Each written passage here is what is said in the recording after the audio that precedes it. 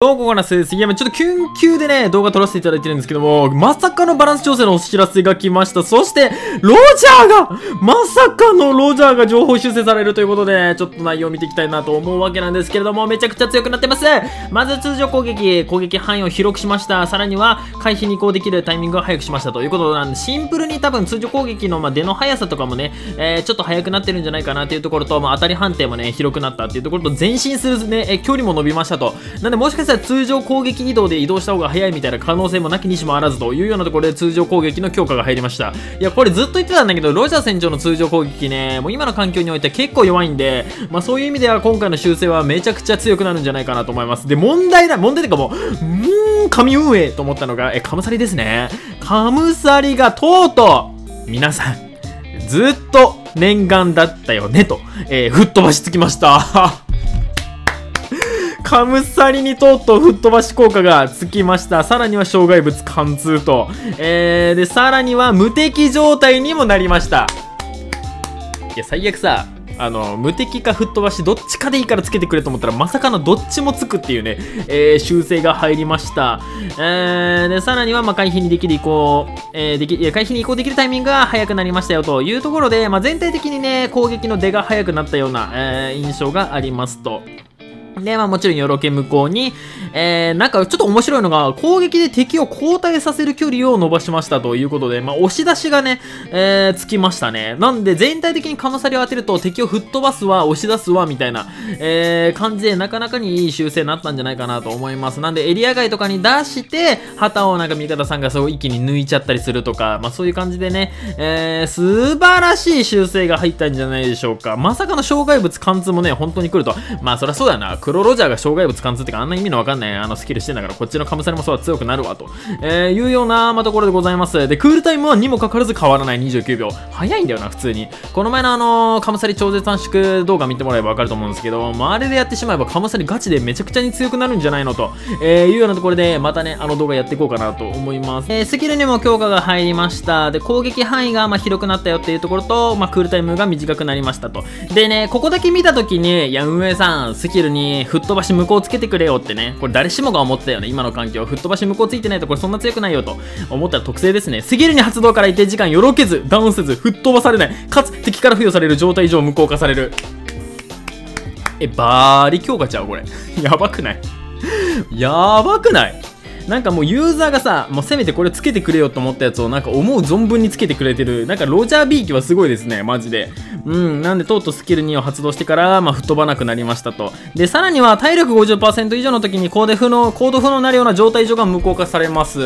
いや、これも素晴らしいよね。早くこのロジャー状態以上無効つけてくれよとかって思ってたら、まさかの本当にね、えー、状態以上無効がつくことに、えー、なりました。で、さらには、えー、状態以上無効化したら10秒間70%防御力が増加すると。70%だよ結構カチカチになりますね。うん、気絶だけじゃなくて、えー、状態以上無効にすればいいだけですからね。なんで、石化とか、まあ、最近でいくと振動とか、そこら辺も白ひげどうした？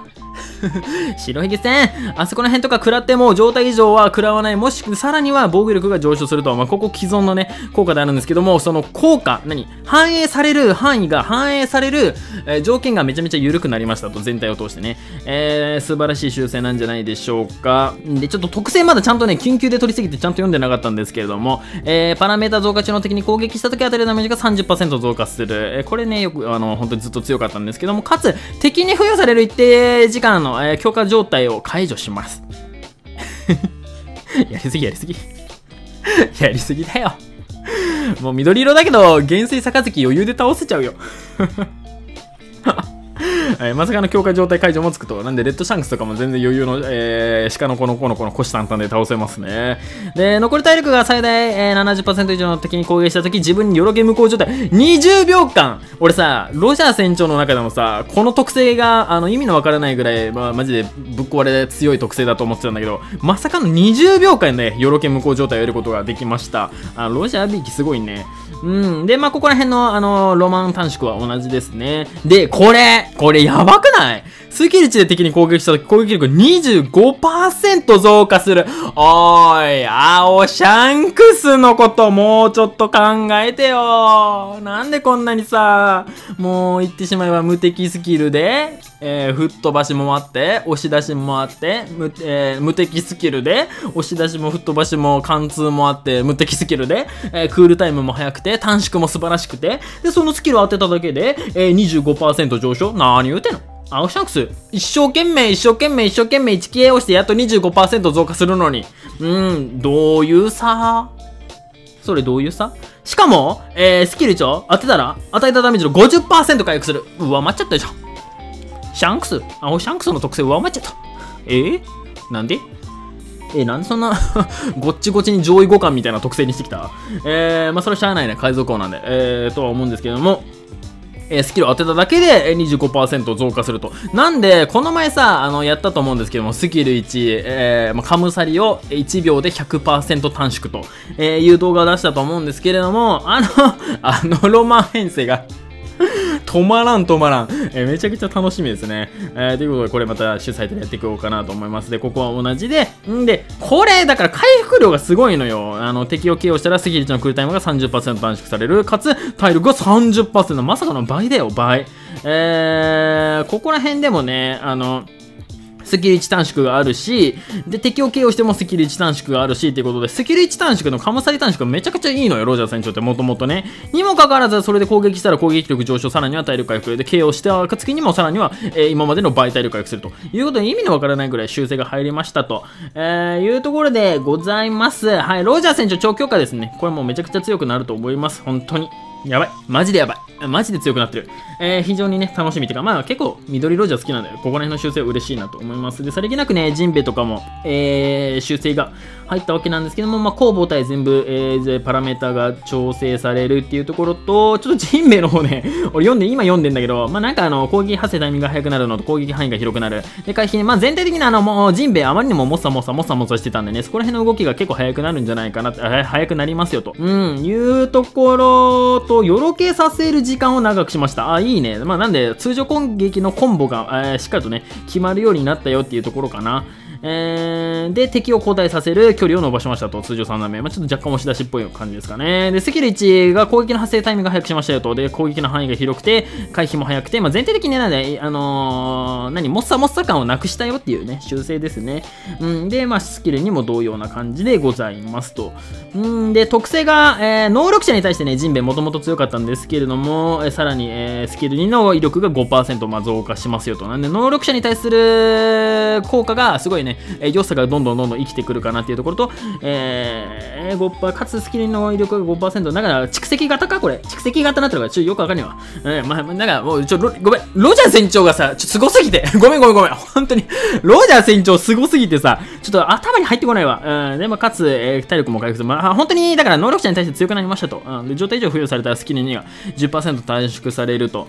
うん、いうところと、えー、かつ体力回復することができますよ。で、敵から状態以上向こう80%短縮しますよと。まあ、今の環境でも結構使いやすくなったんじゃないかな。起きるダメージが減少と90秒以下の時にスキル値のクルタイムが100%増加。素晴らしいね。えー、体力は70%以上によろけず吹っ飛ばされないと。確かにスキル値の方が魚人空手で、えっ、ー、と、あの、スキル2の方が、あの、やべ、もうパッと出てこないわ。えー、海掴んで投げるやつね。えー、だあの、頂上戦争の時にやってたやつだと思うんですけれども、えー、そのスキル2のダメージが蓄積型になりましたって、あの、何あの、波みたいな感じですね。波みたいな感じになりましたよっていうところでございます。はい。っていうことと、あとは、まあ、頂上ルフィも、えー、修正が入るわけなんですけども、まあ、なかなか、こう、ちょっと使ってるタイミングもそんなないのであれなんですが、まあ、全体的に強くなったらしいです。まあ、配布キャラがすごい使えるようになるっていうのはすごい嬉しいですよね。普通に考えてね。